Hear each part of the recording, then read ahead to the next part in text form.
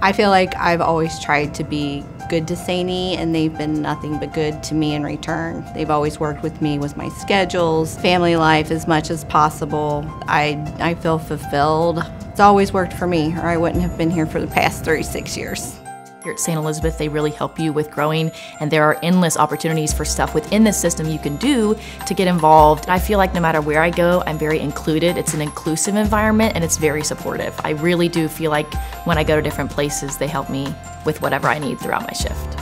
Having an opportunity to help people every day, that's really the, the best thing about it. The variety i am seeing every day, it's not the same thing day after day, which I strive for. I like to have new things every day, and that's exactly what I'm getting. Different results every single day. Keeps it interesting. I just like it here. People are good to me, and I feel like I can help people. If you want a good job and a good place to work with great benefits and nice bosses, then they should come out here. So I just like it here. It's home.